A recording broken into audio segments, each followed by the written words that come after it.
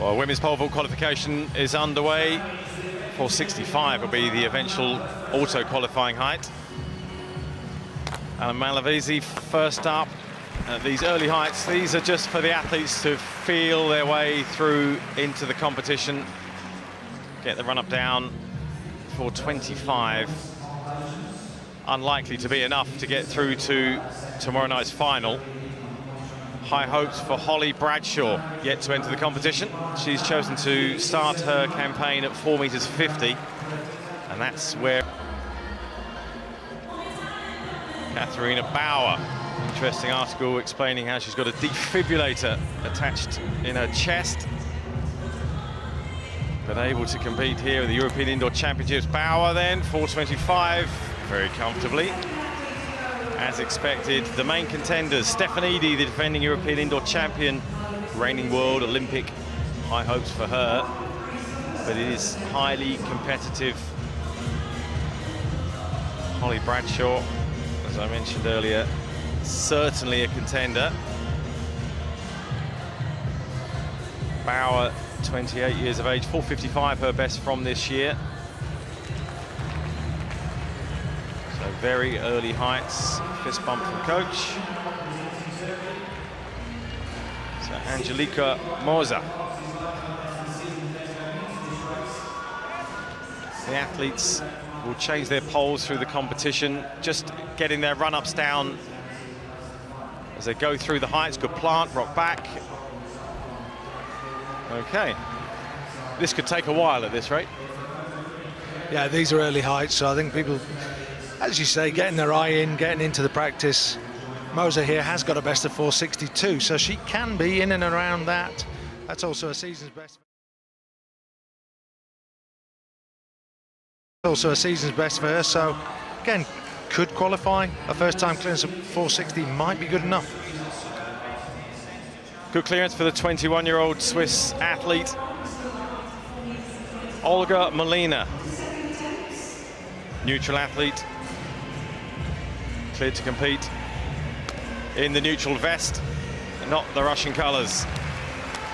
Molina then, another competent jump, another fine clearance.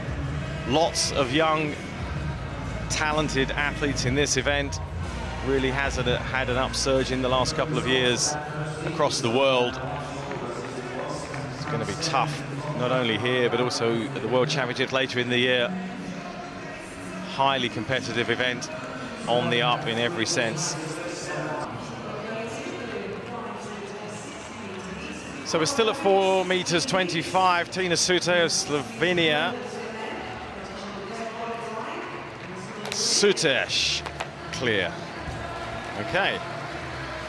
Lots of young contenders, 30 years of age.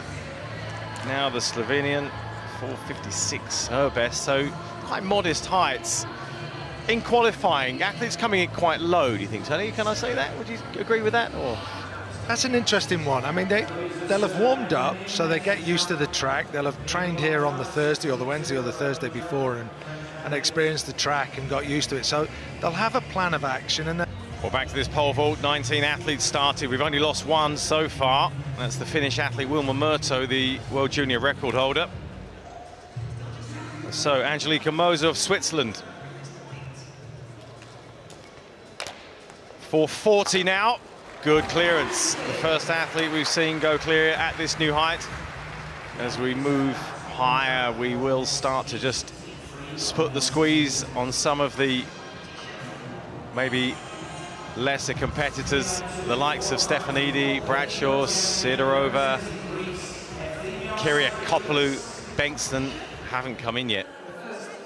Nicoleta Kyriakopoulou made it a Greek 1-2 behind her teammate Stefanidi last summer at the outdoor European Championships in Berlin, also to join the competition.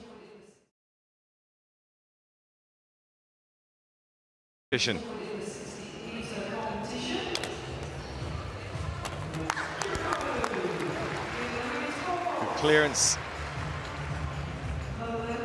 for Kyriakopoulou. In fact, that was the second jump for her, so needed two efforts, but made sure on that one. Slightly strained there. Good rock back, trying to keep as close to the bar as possible, maybe just slightly drifting away from it. Cost her a few valuable centimetres. But a convincing clearance for the Greek number two, or might even emulate that one-two here at the European Indoor Champs as they did out. Seuraamaan myös No nyt päästään juuri seiväsyppy paikalle. Sonia Malavisi, Italia, 4.50. Hänellä ensimmäinen yritys tästä korkeudesta. Karsilta raja on 465, 450 ja yli menee. Kyllä se rima jää sinne kannattimelle. Italialainen ensimmäisellä yli. Se on hyvä ylitys, kun ensimmäisellä pääsee. Vaikka naisia on paljon mukana, niin se saattaa olla, jos ensimmäisellä yli menee, niin voisi ehkä kenties riittää.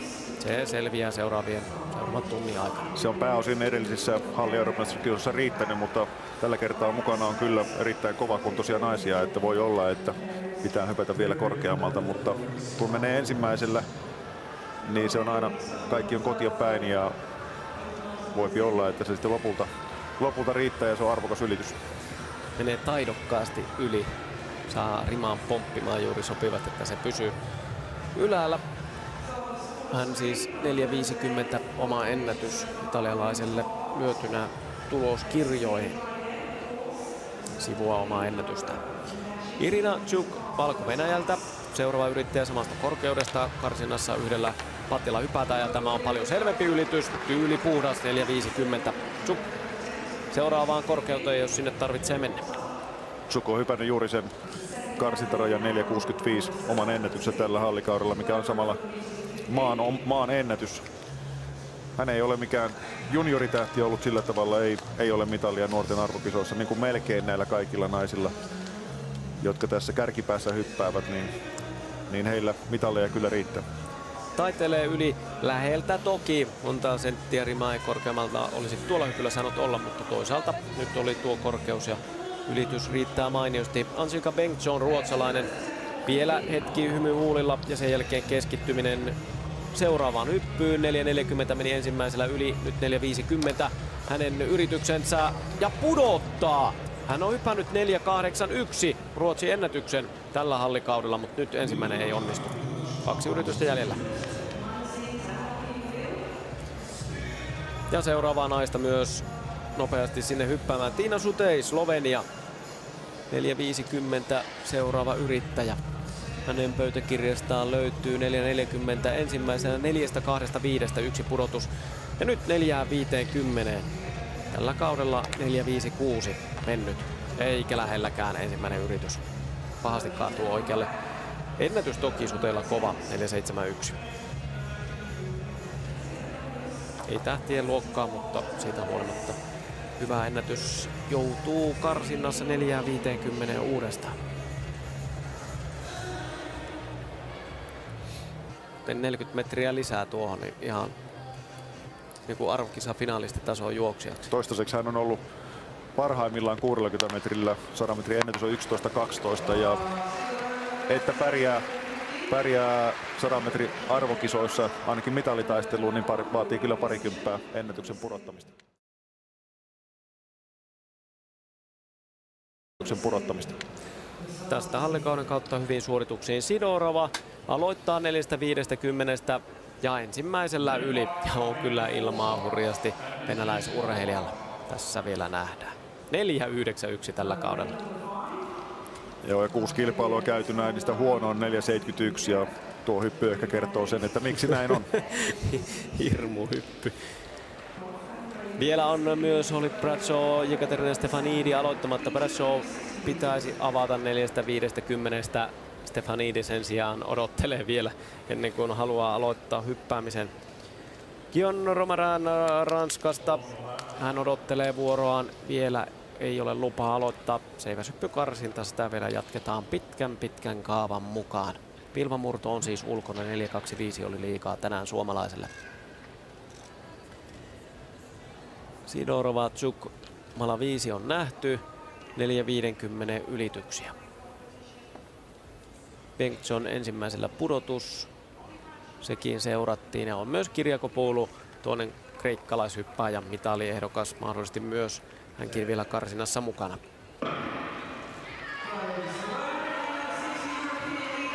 Ja nyt sitten hyppylupa on annettu ja ranskalainen pääsee kokeilemaan 4.50. Ennätys on hyvä, 4.73 hänellä tältä kaudelta. Ja nuoresta hyppäistä edelleen on kysymys, kun 23 vastaan ikää hänellä lähestyy hyppypaikkaa ja siitä ilmoja teille ja yli menee.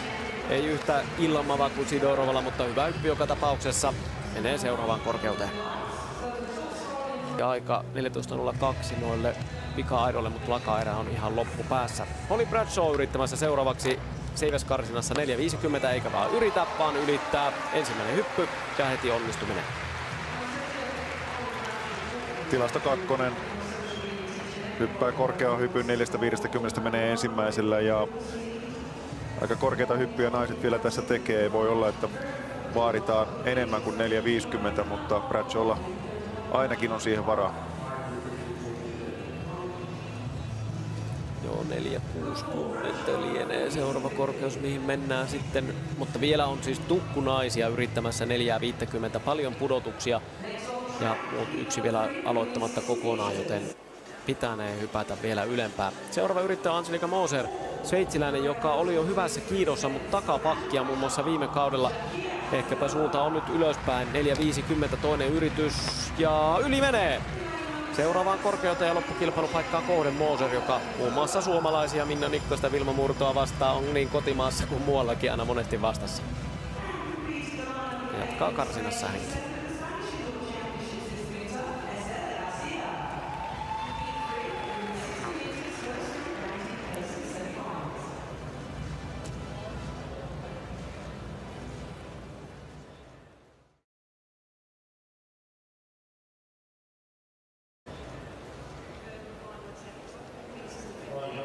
Ja vielä ohjeet katsomosta hyppyyn Mooserille. 4.50 toisellaan. Ensimmäisen yli, ensimmäisellä ylittäjiä on viisi. Nyt toista kierrosta mennään. Olka Mullina, hänellä yksi pudotus 4.50. Alemmissa korkeuksissakin on rastia pöytäkirjassa. Toinen yritys. Hänellä 4.50. Kauden parhaan tuntumassa liikutaan nyt, jos yli menee ja menee yli. 4.50. Hänkin kamppailee yhä loppukilpailupaikasta.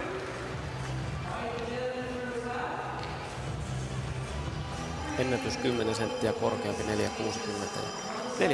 4.50 sivua kauden parasta. Oli, oli nyt seitsemäs, ja silloin seitsemäs ylittäjä 4.50. Ja seuraava Bengtsson, ruotsalainen, toinen yritys 4.50 ja pudottaa toisen kerran.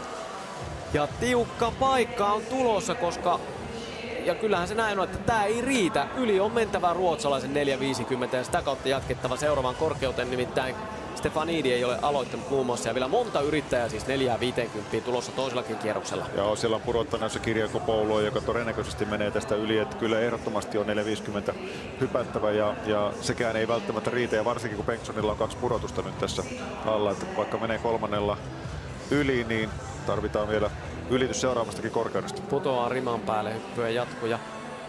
Nyt on, no, Bengtsson on kyllä vaikka nuoresta iästään huolimatta niin paljon kisoja kiertänyt ja tämmöisessäkin paikassa ollut, mutta kyllä tulossa seuraavan reilun tunnin aikana, kun Tiina Suteen 450 toinen yritys on siis pika-aitojen alkuerävaihe tulossa hetkisen päästä Elmo Lakka miehissä, kolme suomalaisesta naisessa ja jokaisella, miksipä ei myös Bogdanovilla sauman päästä jatkoon alkueristä, jos ajatellaan eriä. Sute jatkoon ainakin karsinnassa toistaiseksi 4.50 ja se kuittaa jo viimeistään Bengtsonin tilanteen. Pakko mennä yli. No se oli oletettava kahdeksan, kahdeksan yli, ylittäjää on nytten ja siellä on kyllä kovia hyppää, hyppäjiä. Kahdella pudotuksella kirjakopuolulla on kaksi. Tsekkiläisiä yrittämään 4.50. Seuraavaksi meilläkin pari kilpailijaa Meles Svabikovaa sekä Romanna Malakovaa ja Malakovaa otetaan kuviin. Hän on ylittänyt, kuten nähdään pöytäkirjasta, kaksi edellistä korkeutta kolmannella ja sama sarja pitäisi pystyä pitämään, mikäli aikoo vielä pysyä leikissä mukaan loppukilpailupaikka. Ollaan aika lailla kauden parhaan tuntumassa nyt jo tällä hetkellä. Ja yli menee! Hieno onnistuminen. 4-5-1 tällä kaudella ja nyt 4-50. Kolme korkeutta kolmannella. Ko kovaa, kovaa kilpailemista. Ja iloisesti vaan kohti seuraavaa korkeutta ja se on jo lähellä omaa ennätystä sitten kun rima nostetaan ylemmäksi. Seiväsypyn karsinta alkoi yli puolitoista tuntia sitten ja vielä jatkuu tunnin verran melkein. No, voi olla sitä luokkaa ihan hyvinkin ennen kuin selvillä loppukilpailijat.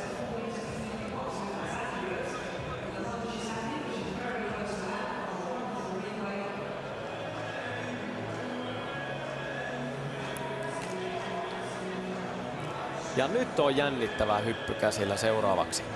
Angelika Bengtsson, arvokisa mitalisti EM-tasolta, peräti MM4 neljän vuoden takaa. Nyt tiukassa paikassa, on hyvin keskittynyt, hieman puoli äkäinen kun lähestyy 4.50. Viimeinen yritys ruotsalaisella, kova tulos siis tältä kaudelta ja ei pääse yli, tai pääsee yli, mutta pudottaa siitä huolimatta ja tämä on jättipaukku. Naisten seiväsypy karsitaan. Bengtsson ulkona finaalista. Tämä on kyllä iso jättipaukku, samalla tavalla kuin edellinen hyppy. Ei jatku riittävästi ja putoaa vähän riman päälle. Tuo maastalähtökään ei ollut tässä hyvyssä niin hyvä, mutta nousukorkeuksia toki olisi ollut riittävästi, mutta putoaa päälle ja putoaa myöskin kisasta. Kisat ja päivät eivät ole veliä tai siskoja keskenään, mutta 4-8-1 tällä kaudella Ruotsi. Tällä kaudella Ruotsin ennätys ja tänään 4.50 on liikaa. Ja nimenomaan tällä hallikaudella hän on ollut aivan erinomaisessa kunnossa. Ruotsin ennätyksen lisäksi on myöskin Pohjoismaiden ennätys, jota joku aika sitten vielä Vilma Murto piti hallussaan 4.71, mutta nyt Bengtsson 4.80 ja Meijer 4.75. Seipäät pussiin ja kotia kohden. Kirjako Poulu on myös tiukassa tilanteessa niin ikään arvokisa menestyjä. Nyt pitää mennä yli. Hänellä on kaksi pudotusta neljästä viidestä kymmenestä. Ja kova on tulos 4-8-1 pöytäkirjasta myös hänellä. 4-40 siinäkin pientä takertelua, toisella yli nyt viimeinen yritys 4-50. Nikoletta Kirjako Poulu lähestyy ja siitä ponnistus ilmeen teille ja nyt menee yli ihan puhtaasti. Ei hätää ja tavoittelee edelleen loppukilpailupaikkaa. No, piti olla hänelle ihan rutiinia, neljä kisaa käytyneen ja huonoinkin tulos on 4.63, tekee yleensä varmasti tulosta, mutta tiukalle joutuu, joutuu ja joutuu jatkossakin. Seuraava korkeus on mentävä vielä yli. Ja mennäänpä jälleen seiväsyppy paikalle. Polak, Kreikka, viimeinen yritys, 4.50 hänellä.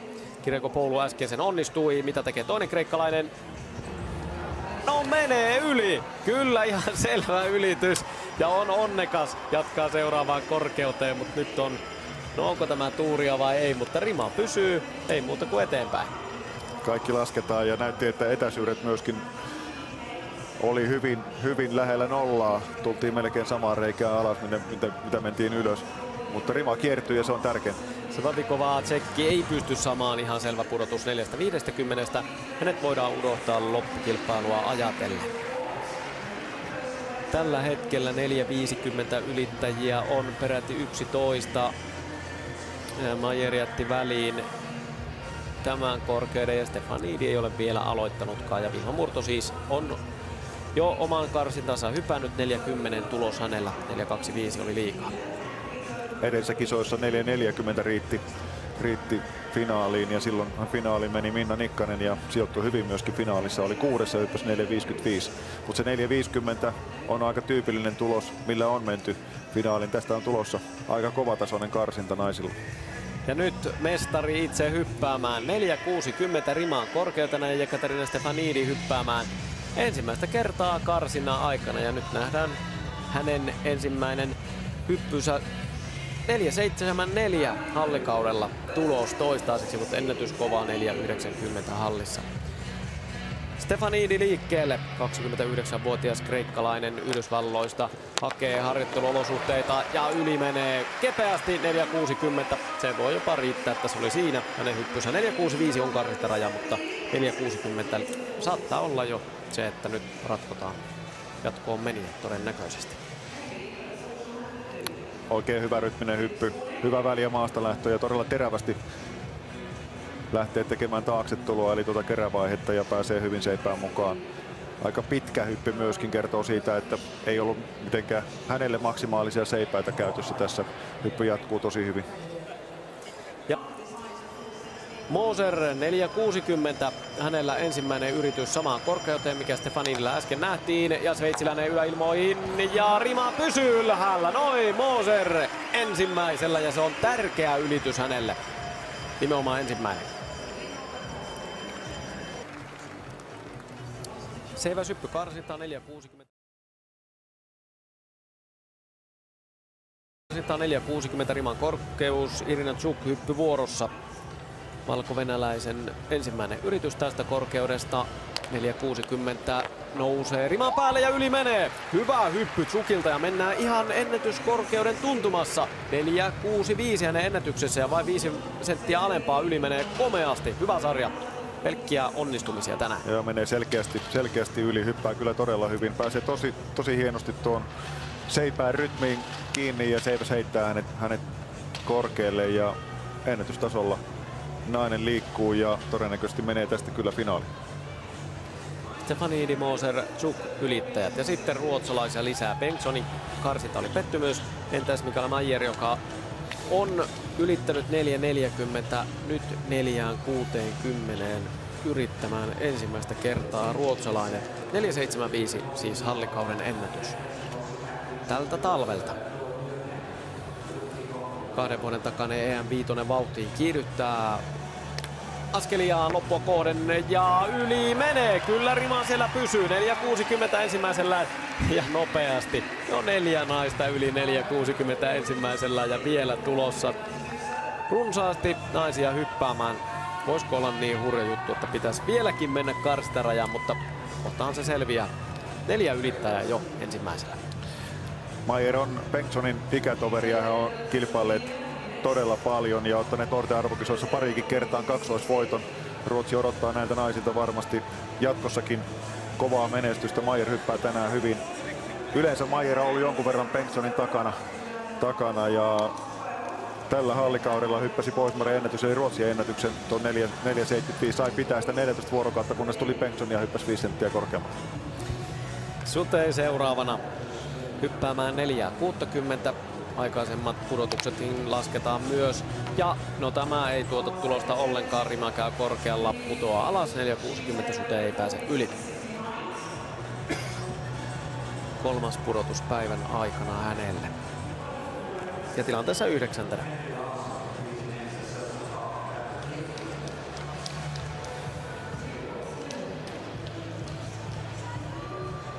Ja se tämä 460 jää viimeiseksi korkeudeksi sitten kuitenkin, mitä hypätään tänään karsinnassa. Kahdeksan saadaan loppukilpailuun. Pahasti riman päälle.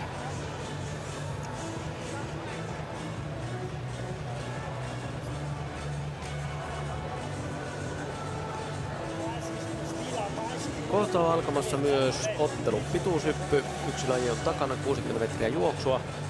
Ja alkamassa siis ihan muutaman minuutin muutaman minuutin kuluttua 60 metriä aitajuoksu miehillä. Elmo Lakka erässä neljä tavoittelemassa loppukilpailupaikkaa. Starttiaika aikataulun mukaan tuohon erään on 14.26 Suomen aikaa, jos aikataulu pitää ja hyvin on pitänyt. Nikoletta kirjakopoulu Kreikka. Ensimmäinen hyppy 4.60, Takereelle 4.50, selvitti viimeisellään ja nyt ensimmäinen yritys 4.60. Kokenut kreikkalainen lähestyy hyppypaikkaa, seiväs kuoppaan ja yläilmoihin, mutta putoaa hänkin rimaan päälle ja ensimmäinen on pudotus. Okay. Myös suorassa lähetyksessä, miten mitaleita jaetaan. Angelika Sidorova, venäläinen hyppäämään neljään 60 ensimmäistä kertaa. Ja oletusarvo on, että tämäkin pitäisi olla helppo korkeus hänelle. Joo joo, niin onkin ja menee 4.60 ensimmäisellä. Stefanidi, Chuk, Mayer, Moser ja nyt Sidorova. 4.60 ensimmäinen ja onnistuminen. Sidorova Vievoren halli maailmanmestari on kyllä kaikki nämä hypyt, mitkä TV-kuvissa on, tai molemmat hypyt, mitkä on TV-kuvissa näkynyt, niin ollut kyllä todella vakuuttava. Ja siltä myöskin tuo tilastotulokset näyttää, näyttää hänen osaltaan. Hän ei juuri tulokset ole jäänyt ja 4.71 tosiaan huonoin tulos tälle hallikaudelle. Holly Bradshaw myös lähtöalueella kohta valmiina hyppäämään korkealta. Ensimmäinen yritys hänellä tulossa vasta eteen. Neljästä kuudesta kymmenestä pudottajia löytyy seitsemän. Tähän mennessä viisi on mennyt yli. Ja kahdeksan siis loppukilpailuun. 465 on karstaraja. Ja niin kauan hypätään, että sopiva määrä urheilijoita on mukana. 460 tässä ratkotaan jo. Percho seiväs valmiiksi. Ja toinen hyppy päivän karsinnassa urheilijalle kiihdytys ja ponnistus ilmoihin, mutta tämä on ihan tosi vaisu yritys. Ei mitään aineesta ylitykseen neljästä kuudesta kyyttä saumaa oikeasti nyt on, jos ajatellaan tavoitteena päästä MM-kisojen ehdottomasti ensi syksynä Emo Lakalle. Mihin potentiaali riittää, mitä luulet, että hyvin tarkasti pystyt vierestä Jyväskylästä seuraamaan? No rajoja on turha, turha asetella. Elmo on itse puhunut, että miesten suomen Artsi Brykkären suomen ulkoradoilla on yksi, yksi sellainen maali ja en mä näe mitään esteitä, että mikä ettei mies voisi sinne mennä. Elmohan viimeistelee tällä hetkellä graduaa ja tehnyt opintoja aika, aika tiiviisti urheilun ohella ja ja on koko ajan ajatellut niin, että tästä eteenpäin hän on ammattiurheilija ja kaikki on pelissä. Eli itse uskon kyllä, että Elmolla ne parhaat vuodet on vielä edessä päin. Aika on, aika on ja kohta juoksemassa siis EM alkuerässä 60 metrillä juoksussa. Seiväsypyssä karsita jatkuu vaan Kioro Maran, Ranska meni jo yli. Ranska meni jo yli. Mullina ei jatkoon pääse. Hän pudottaa kolmannen kerran tai edes pudota. Timmoksi jää 4.60. Kolmas raksi pöytäkirjaan hänelle. Ja tilanne on nyt se, että no 4.60 ylittäjät heillä ihan tuttu juttu. Mutta nyt kahdeksalla paikalla Sonia viisi italialainen meni 4.50 ensimmäisellään kiinni viimeisessä finaalipaikassa yksin. Eli tavallaan katsellaan pystyisikö joku vielä sotkemaan 4.60 sitä tilannetta. Hyppäämässä tsekkiläinen Malkovaa. Pystyykö hän menemään kolmannella yli? Ei enää. Monta edellistä korkeutta kolmannella yli, mutta ei enää tätä. Ja ei pääse loppukilpailuun, vaikka venyykin oman tason nähden hyvin. 4.50 tulos hänelle.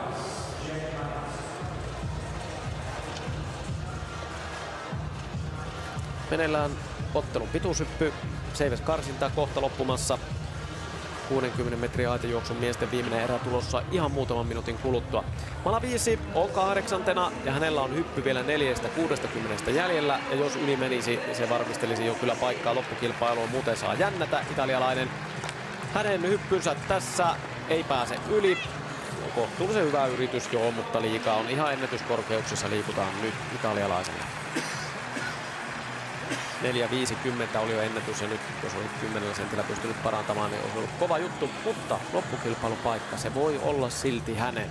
Se selviää muutamien minuuttien päästä. Kirjako Poulu muun muassa vielä hyppäämättä Polak, toinen kreikkalainen niin ikään.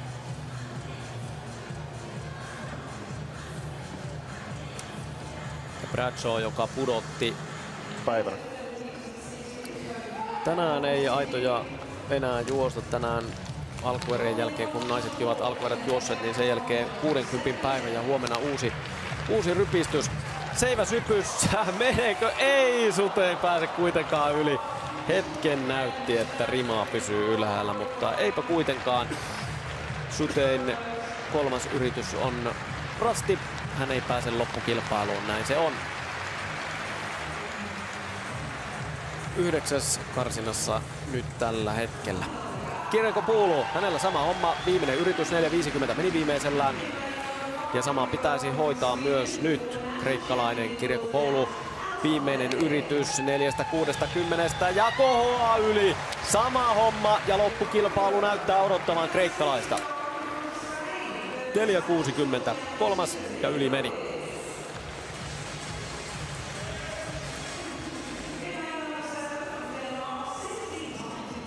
Ja vielä uudestaan, jos on ollut ongelmia päiväaikana, niin tässä hypyssä niitä ei juurikaan ole.